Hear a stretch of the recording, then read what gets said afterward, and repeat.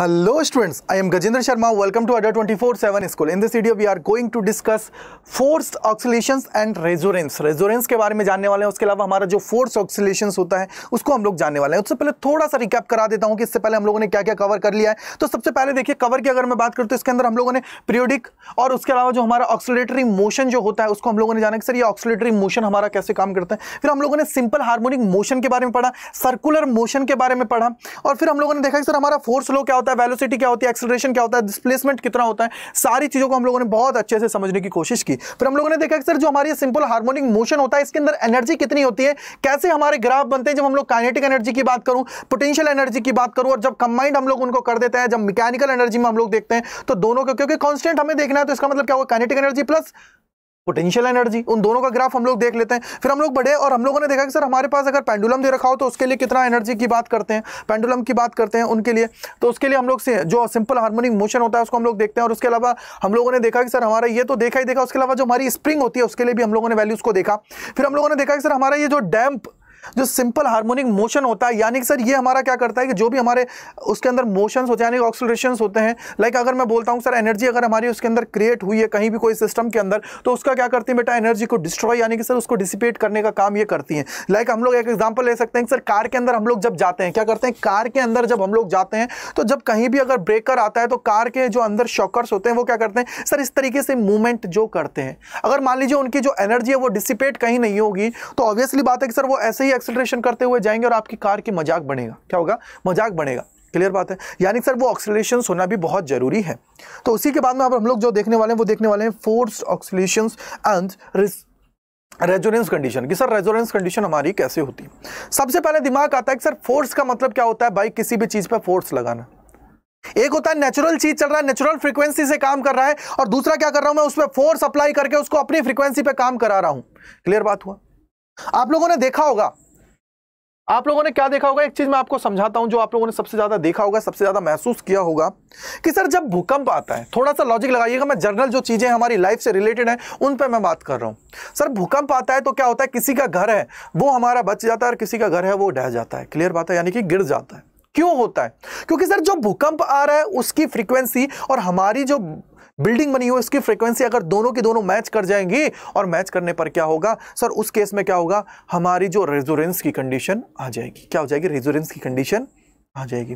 तो इसका मतलब क्या होता है, सर? वहाँ पे फ्रीक्वेंसी का सारा खेल है। एक एग्जांपल और ले लो कि अगर पुल के ऊपर अगर पुल के ऊपर बहुत सारे सैनिक सैनिक का मतलब क्या होता है? सर सोल्जर्स हमारे जा रहे हैं और वो अपने पैरों की जो उनकी आवाज़ है, उससे जो कंपन बन रहा है और जो हमारा वाइब्रेट कर रहा है, पुल उन दोनों के अगर वो सेम हो जाता है तो सेम होने पर क्या होगा? पुल हमारा क्या हो जाएगा? टूट जाएगा। पुल हमारा क्या होगा? टूट जाएगा। क्लियर बात हो?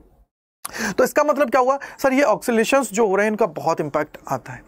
जैसे अगर मैं पेंडुलम को इस तरीके से हिला रहा हूँ, थोड़ा सा एफर्ट्स दिया पेंडुलम घूमने लग गया, घूमने लगा। अगर उसके अंदर मैं एयर फ्रिक्शंस है, जो भी हमारे फ्रिक्शंस है, उनको नेग्लिजिबल कर देता हूँ तो सर वो मूव करता रहेगा। क्लियर बात है?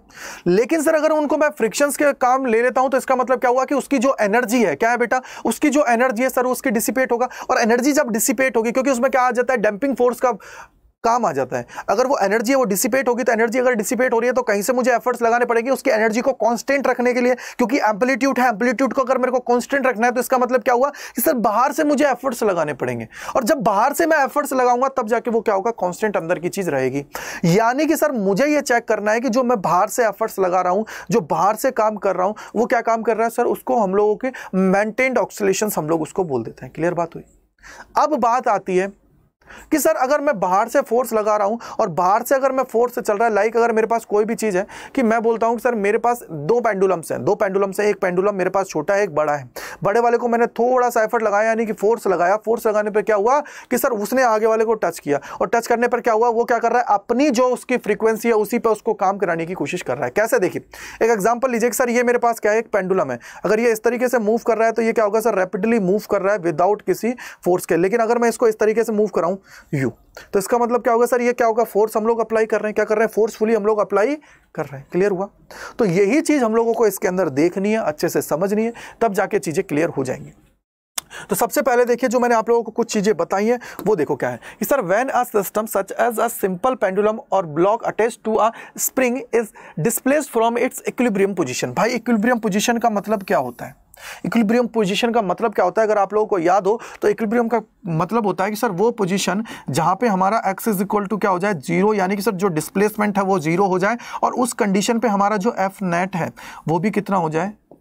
ज़ीरो ये हमारी क्या होती है सर? इसी को हम लोग बोल देते हैं इसकी मीन पोजीशन या इसी को हम लोग बोल देते हैं इसकी इक्विलिब्रियम पोजीशन क्या बोल देते हैं? इक्विलिब्रियम पोजीशन बोलो क्लियर हुआ है नहीं हुआ? बोलो क्लियर हुआ नहीं हुआ? बोलो क्लियर हुआ नहीं हुआ? अब इसके अंदर देखो, थोड़ा सा एक एक लटका हुआ है आपके सामने दिख रहा है। तो ये क्या काम कर रहा है? कि सर देखिए, ये मूवमेंट जो चल रहा है, कैसे हो रहा है? कि सर ये जो है इसको टकरा रहा है। टकराने के बाद में क्या हो रहा है? कि सर ये जैसे टकरा रहा है तो इसकी वजह से क्या हो रहा है? इनके अंदर मूवमेंट हमें देखने को मिल रहा है कि कैसे ये पेंडुलम्स हैं, इस तरीके से रोटेट कर रहे हैं। क्लियर हुआ? पेंडुलम्स क्या कर रहे हैं? रोटेट कर रहे हैं। अब इसके अंदर क्या होती है, सर? एक तो हमारी होती है नेचुरल फ्रिक्वेंसी नेचुरल फ्रीक्वेंसी का मतलब है कि सर, जब मैंने उसको थोड़ा सा पुश किया पुश करने के बाद में वो अपने जो फोर्स है, कौन सा रिटा जो हमारा इसके अंदर रिस्टोरिंग फोर्स होता है, जो इसको बोलते हैं प्रत्यानयन बल, उस फोर्स की वजह से क्या कर रहा है? इधर उधर मूव कर रहा है। इधर उधर मूव कर रहा है तो वो चलेगा।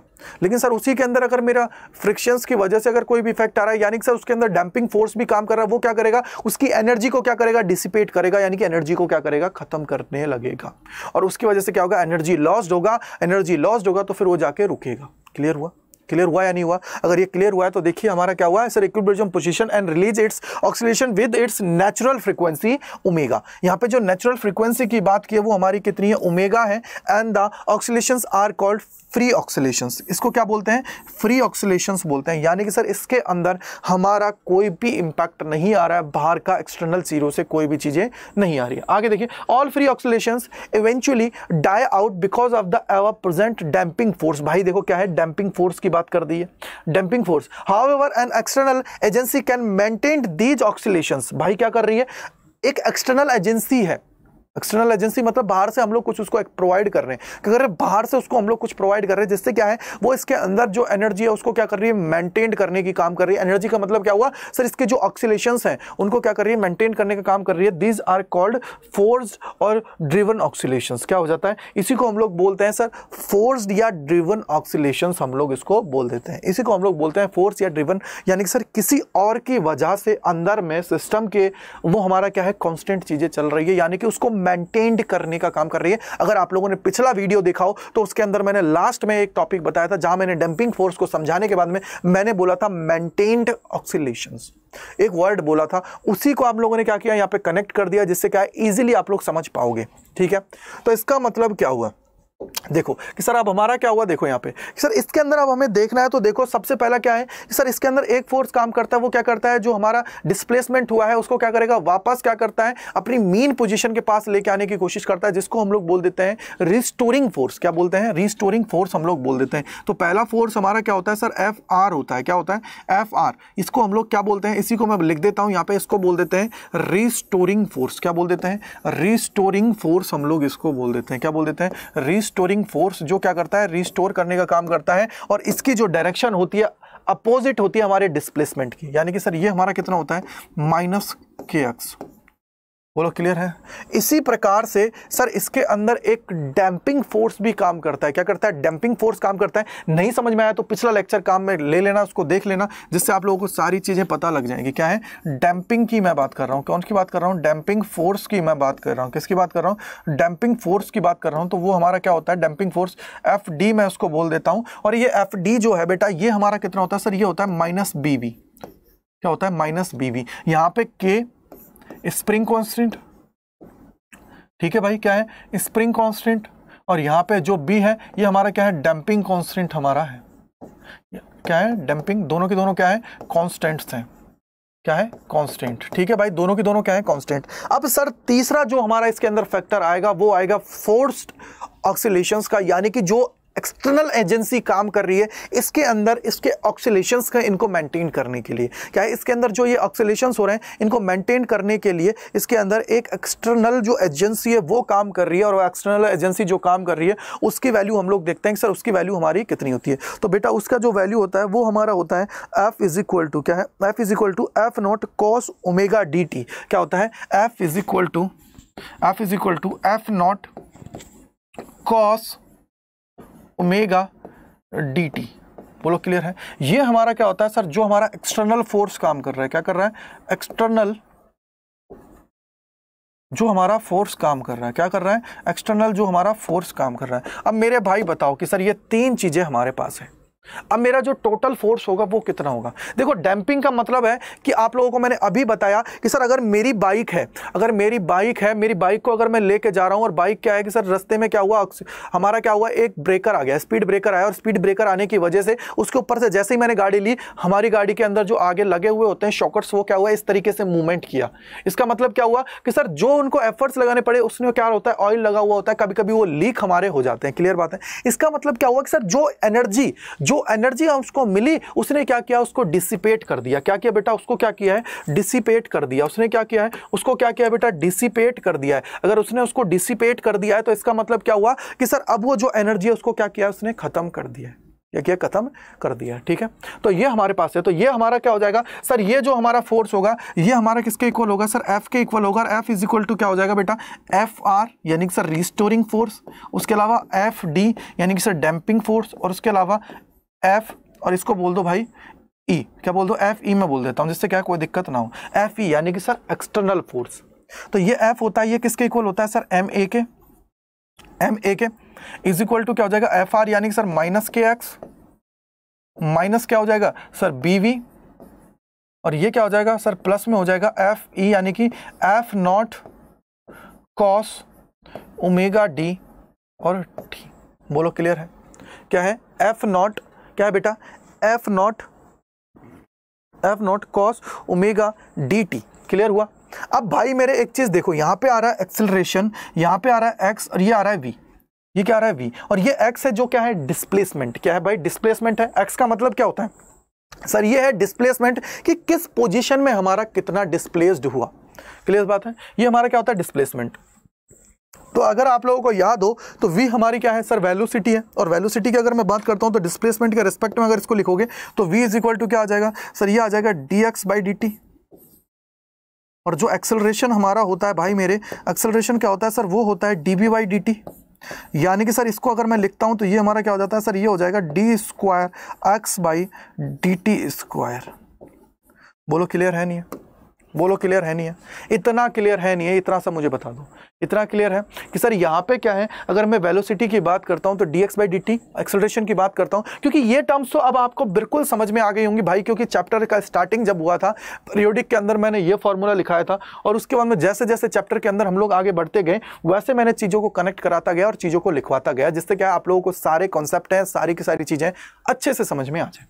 तो यहाँ से क्या हो जाएगा? सर इसको अगर मैं लिख देता हूँ तो ये हमारा क्या हो जाएगा? M D square X, D T square, बोलो क्लियर है? M D square X by D T square, आगे देखिए प्लस, यहाँ पे देखिए equals to minus K X ऐसे के ऐसे कोई दिक्कत नहीं है। आगे क्या है सर? माइनस और बी वी का मतलब क्या है? सर, ये आ जाएगा D X by D T क्या आ जाएगा D X by D T क्या आ जाएगा D X by D T और प्लस में क्या हो जाएगा सर? ये हो जाएगा F naught cos omega D T बोलो क्लियर है? अब बात आती है सर, इसको अगर मुझे लिखना है तो सर, ये अगर पावर यहाँ है तो इससे छोटी, फिर छोटी। यानी कि एक्स एक्स का जितना है, उसको एक तरफ़ लिख दो। एक्स का जितना है, उसको एक तरफ़ लिख दो तो फाइनली क्या बन जाएगा सर? ये बन जाएगा M D square X D T square plus में क्या हो जाएगा? B D X by D T plus में क्या हो जाएगा? के एक्स इज़ इक्वल टू हो जाएगा F naught cos omega D और टी बोलो क्लियर है? बोलो क्लियर है? अगर ये क्लियर है तो भाई मेरे, यहाँ से मैं क्या से कर सकता हूँ, सर? इसके आगे जो ये कांस्टेंट है एम एम को मैं सबके नीचे लेके जा सकता हूँ, या फिर मैं इसको ऐसे ही रख के, अब आप लोगों को याद हो तो ये हमारी क्या होती है बेटा? ये होती है सेकंड ऑर्डर की डिफरेंशियल इक्वेशन क्या होती है? सेकंड ऑर्डर डिफरेंशियल इक्वेशन जो आप लोगों के सिलेबस का पार्ट नहीं है।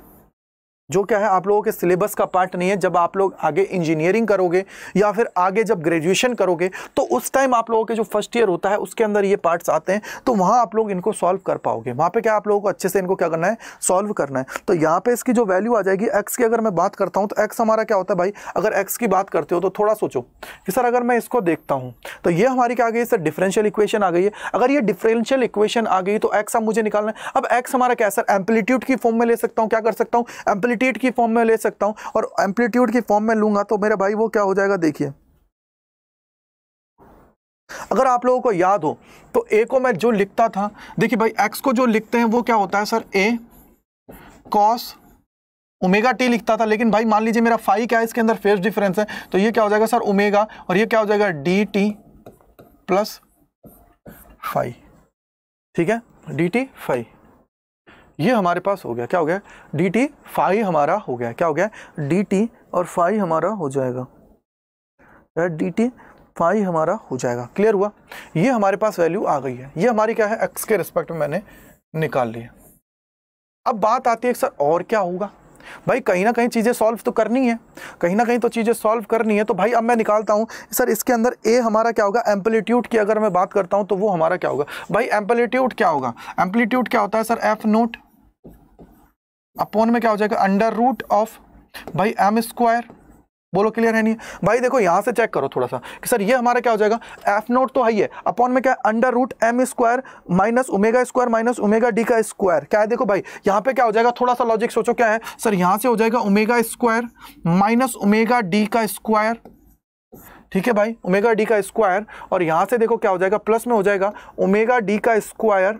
और क्या हो जाएगा भाई? बी स्क्वायर क्या हो जाएगा? बी स्क्वायर हमारा हो जाएगा. क्या हो जाएगा? बी स्क्वायर हमारा हो जाएगा. क्या हो जाएगा? बी स्क्वायर हमारा हो जाएगा. कैसे देखिए? सर, ये हो गया है omega square minus omega D का स्क्वायर, ओमेगा डी का स्क्वायर और हो गया ओमेगा डी का स्क्वायर और बी स्क्वायर हमारा आ गया है।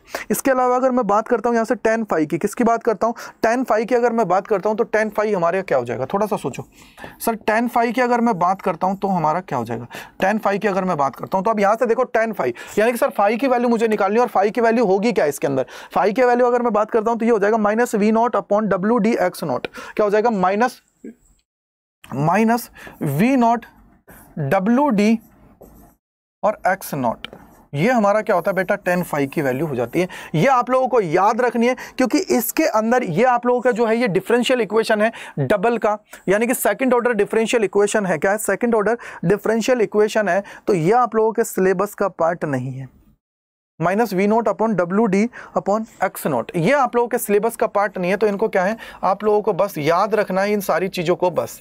इन सारी चीज़ों को क्या करना है? इनको अच्छे से दिमाग में सेट कर लेना है। इनसे क्या है? आपके सारे डाउट्स हैं, वो क्लियर हो जाएँगे। क्योंकि ये आपके सिलेबस का पार्ट नहीं है भाई। क्या है? ये आप लोगों के सिलेबस का पार्ट नहीं है, अगर मैं इसके अंदर बात करूँ तो। ये जो डबल, जो ये होती है ना सेकेंड ऑर्डर डिफरेंशियल इक्वेशन होती हैं। सेकेंड ऑर्डर जो डिफरेंशियल इक्वेशन है। तो एक बार मैं रिपीट कर देता हूँ तो क्या इसके अंदर किया है? भाई, क्या किया है?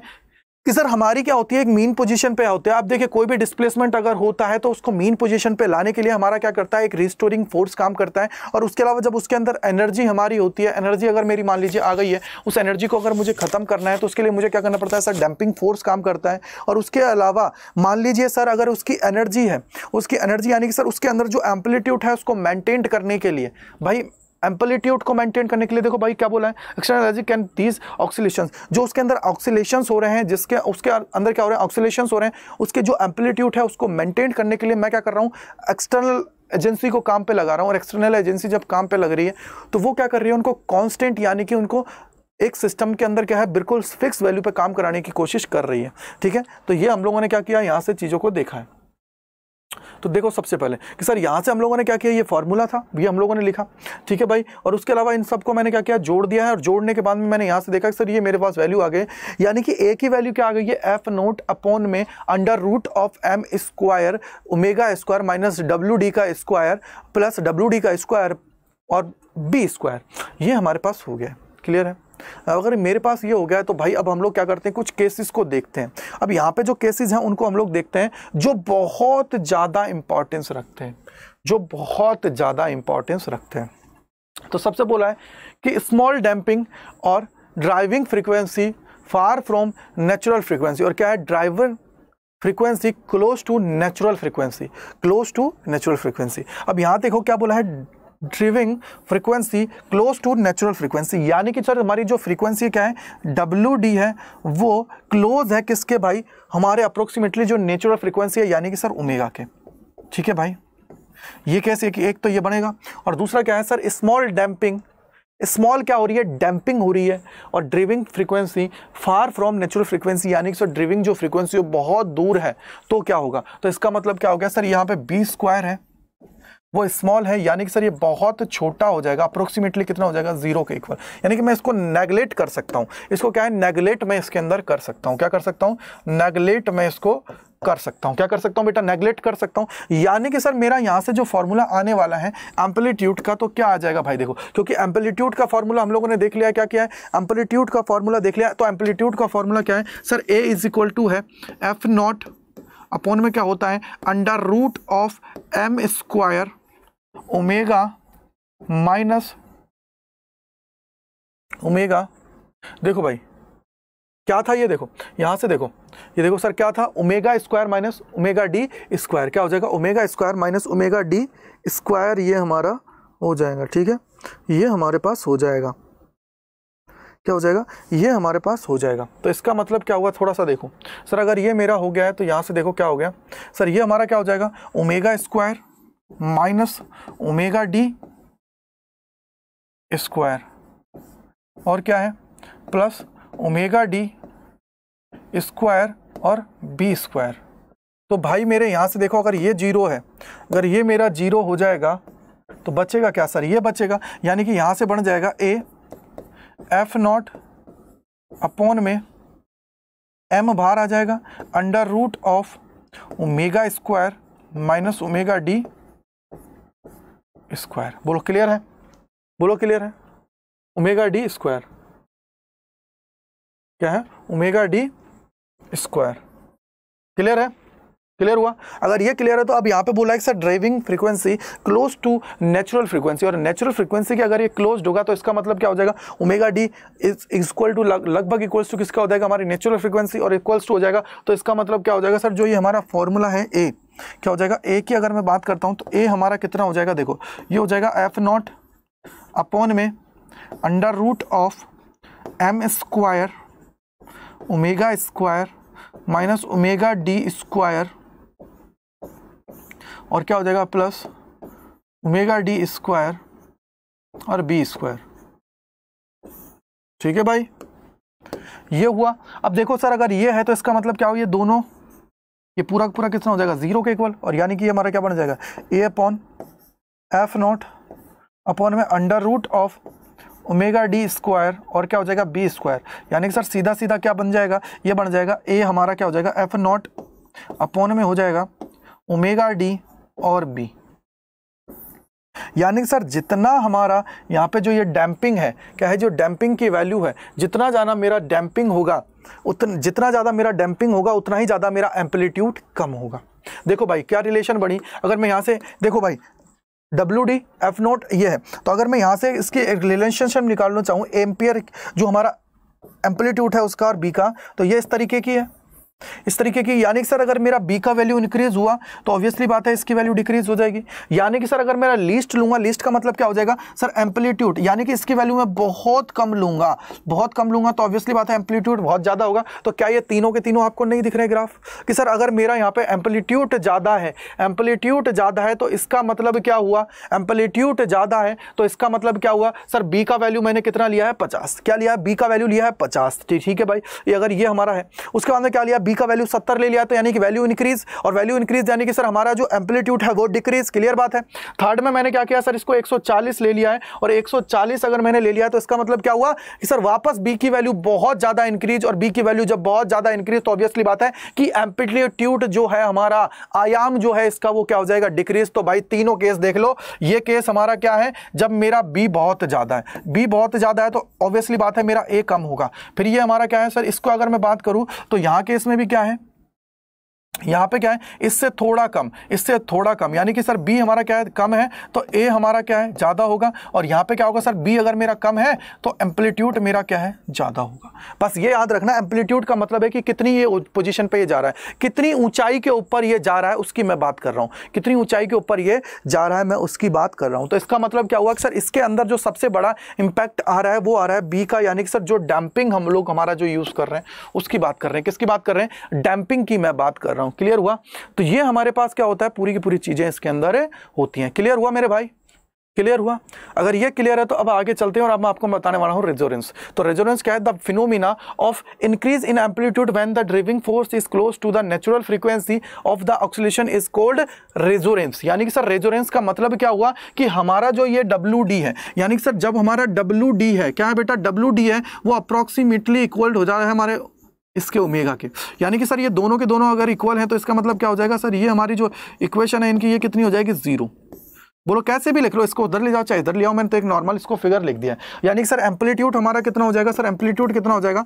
एफ़ नॉट अपॉन में क्या हो जाएगा भाई? ये हो जाएगा under root of m square omega square minus omega d square और क्या हो जाएगा भाई? प्लस में हो जाएगा ओमेगा डी स्क्वायर और क्या हो जाएगा मेरे भाई? बी स्क्वायर बोलो क्लियर हुआ?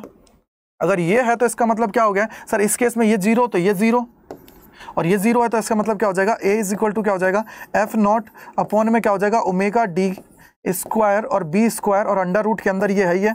और अंडर रूट के अंदर है तो इसका मतलब क्या हो जाएगा? वापस से f naught upon omega d और बी ये हमारे पास बन गया। ये हमारे पास क्या है? बन गया। अगर ये हमारे पास बढ़ गया तो ऑब्वियसली बात है, पढ़ो, देखो स्टेटमेंट अभी पता लग जाएगा। The phenomena of increase in amplitude when the driving force is close to the natural frequency of the oscillator is called resonance तो भाई, यही हमारी क्या होती है इसकी रेजोरेंस की कंडीशन होती है। ये हमारी क्या होती है? रेजोरेंस की कंडीशन होती है, जो आप लोगों को अच्छे से समझ में आ जानी चाहिए, अगर इसकी मैं बात करूँ तो। तो भाई, अच्छे से इसको एक बार रिकवर कर लो एक बार मैं थोड़ा सा मैं बता देता हूँ। देखिए भाई, सबसे पहले आप लोगों को क्या करना है? हमें कंप्लीट फोर्स निकालना है तो सर, हमारा रिस्टोरिंग फोर्स हमारा डैम्पिंग फोर्स और हमारा जो इसके लिए ड्राइविंग फोर्स है, यानी कि सर जो हम लोग इसके लिए ड्राइविंग फोर्स हम लोग यूज़ कर रहे हैं, इसको एक्सटर्नल जो हम लोग फोर्स दे रहे हैं, उसकी बात तीनों किसके इक्वल होंगे? फोर्स के इक्वल होंगे। तीनों के तीनों किसको इक्वल होंगे? फोर्स के इक्वल होंगे। अगर वो फोर्स के इक्वल होते हैं, तीनों के तीनों क्या है? फोर्स के इक्वल हैं। और तीनों अगर वो फोर्स के इक्वल हो गए हैं मेरे भाई तो अब क्या होगा सर एम ए और ये हमारा कुछ रिलेशनशिप बनेगा जिसके अंदर डिस्प्लेसमेंट वेलोसिटी और एक्सेलरेशन। इन तीनों का हमारा क्या बन रहा है? एक रिलेशनशिप बन रहा है, बहुत प्यारा सा। उनको हम लोगों ने रखेंगे तो यहाँ पे क्या हो जाएगी? सेकंड ऑर्डर की एक डिफरेंशियल इक्वेशन बनेगी, जो हमारे सिलेबस का पार्ट नहीं है जिसको सॉल्व करना। तो आप लोगों को क्या है, इसको यहीं छोड़ देना और इसका जो वैल्यू है, उसको याद रखना है कि सर, ये हमारी वैल्यू आने वाली है। फिर हम लोगों को क्या निकालना है? एम्पलीट्यूड का फॉर्मूला देखना है। ये हमारा एम्पलीट्यूड का फॉर्मूला है। उसके बाद में हमें टेन फाइव देखना है। और यहाँ से आप लोग चाहो तो टेन फाइव हमारा कितना जाएगा? Minus v naught upon omega d और एक्स नॉट ये हमारा आ जाएगा, ये फाइव हो जाएगा। फिर इसके बाद में क्या होगा कि दो पॉइंट्स थे जो सबसे ज़्यादा इंपॉर्टेंस थे, कि सर अगर मान लीजिए मेरी रेजोरेंस कंडीशन आ जाए, या फिर मेरा जो डैम्पिंग है, वो हमारा कम हो तो क्या होगा? भाई डैम्पिंग कम होगा तो ये वैल्यू बढ़ेगी, और डैम्पिंग अगर मेरी फ्रीक्वेंसी है ड्राइविंग जो हमारी फ्रीक्वेंसी है वो इक्वल्स टू है नेचुरल फ्रीक्वेंसी के तो हमारा ये रिलेशन बनेगा और इस रिलेशन से ये हमारा ग्राफ बनेगा। ये हमारा ग्राफ बनेगा। और ये जब ग्राफ बनेगा तो आगे देखिए फिर हमारा क्या हो जाएगा? एक फिनोमिना है, जिस फिनोमिना के तहत हम लोग बोलते हैं वो क्या होता है? रेजोरेंस इस रेजोरेंस को आप लोग जब आगे पढ़ोगे चैप्टर नंबर जब ट्वेल्थ की बात करोगे तो ट्वेल्थ के अंदर ये दे रखा है चैप्टर नंबर सेवन के, जहाँ आप लोग एसी के बारे में पढ़ोगे, यानी कि अल्टरनेट करंट के बारे में पढ़ोगे, वहाँ पर यह हमारा दे रखा है। वहाँ पर क्या कर रखा है बेटा? वहाँ पे दे रखा है तो आप लोग वहाँ पे अच्छे से पढ़ोगे। इस चीज़ को और रेजोरेंस जहाँ पे क्या हो जाता है? एक्सएल इज़ इक्वल टू क्या हो जाता है? एक्स हमारा हो जाता है। वहाँ पे हम लोग बात करते हैं रेजोरेंस फ्रीक्वेंसी की। किसकी बात करते हैं? रेजोरेंस फ्रीक्वेंसी की वहाँ पे बात करते हैं। रेजोनेंस फ्रीक्वेंसी वो हमारी क्या हो जाती है? One point two pi under root of L C हमारी हो जाती है। ये हमारे क्या है? वहाँ के पार्ट्स हैं जब आप लोग ए सी पढ़ोगे। क्या पढ़ोगे? ए सी हमारी जब पढ़ोगे, तब की बात ये है। ठीक है भाई? तो ये सारा की सारी चीज़ें जो आप लोगों को अच्छे से कर लेनी है और अच्छे से एक बार कॉन्सेप्ट को अपने को बूस्ट कर लेना है। So thank you so much Adda twenty four seven school से जुड़ने के लिए। अगर मेरा पढ़ाया हुआ आप लोगों को अच्छा लगा है तो इसको लाइक कीजिएगा शेयर कीजिएगा कमेंट कीजिएगा और कहीं भी कोई डाउट रहता है तो कमेंट सेक्शन के अंदर ज़रूर लिखना जिससे मैं और मेरी जो टीम है इसको आपके डाउट्स को क्लियर कर पाए और इजीली आपके सारे कॉन्सेप्ट को बूस्ट कर पाए। Thank you so much